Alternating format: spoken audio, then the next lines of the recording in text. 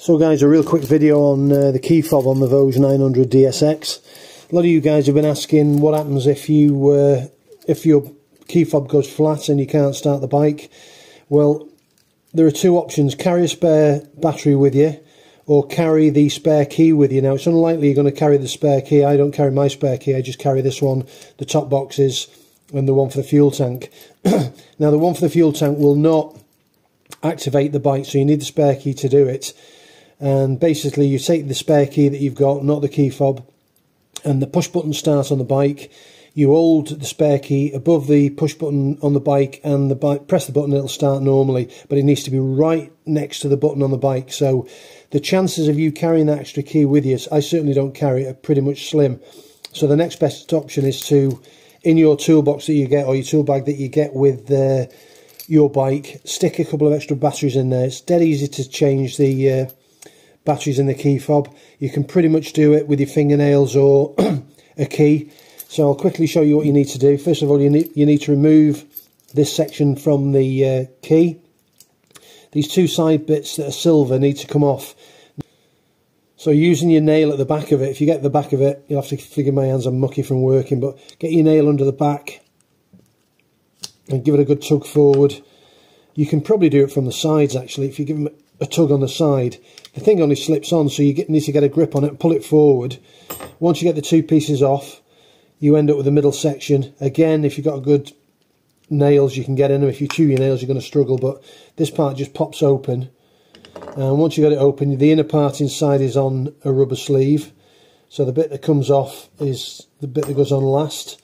So pull the section with the rubber sleeve out Uh, it's a snug fit in there and you'll see which way it goes back in because the two button presses are, presses are there.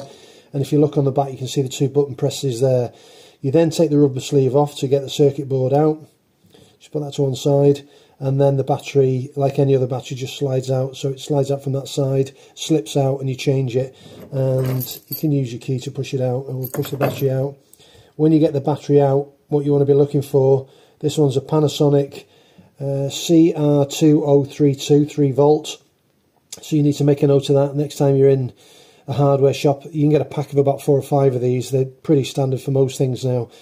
Get a pack of these and at least leave a couple in the back of your bike because they sometimes they do drain and go up instantly and you're not going to know about it. Once you get that uh, sorted put it back into the rubber holder.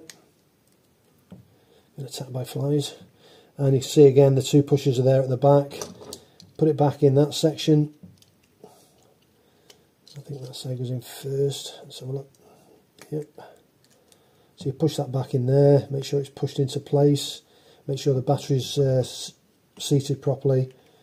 Wiggle it around till you get the uh, cover to seat and that'll clip back on. Once you get it clipped back on it's a case of pushing these two side rails back on in the right way. So you can see they just slide on through a groove down the side. Click click. Test it's working by pressing the button and you should see a red light. Try both buttons. Put your key fob your key back in the uh, holder and then obviously go to your bike put it near the bike and uh, start your bike. But it's advisable to carry a couple of these batteries with you because like I said before the chances of you actually carrying your spare key with you I leave my spare keys for all my vehicles at home in a, in a drawer with spare keys in. So in the event I should break down and fairly local, I can probably ring my wife or I can get home and get a spare key or whatever. But that's the way to go with the uh, batteries in this because the actual one that unlocks the petrol uh, cap will not start the bike. You need the spare key. Another thing with these uh, remotes for the Voge, like any other bike, they just send out a signal to the bike, so it's just a transponder signal to the bike, and you can get them cloned quite easily. Most places do uh, transponder keys now and clone them for you. It won't look the same, it'll be a different key fob totally, but it'll unlock your bike just the same. Okay, you won't have this key for the petrol tank, but you could get that cut again as a clone key and have the clone and the key separate on a fob and have a separate key and fob.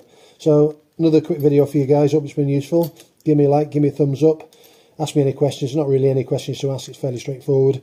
And uh, I'll catch you in the next one, guys. Peace out.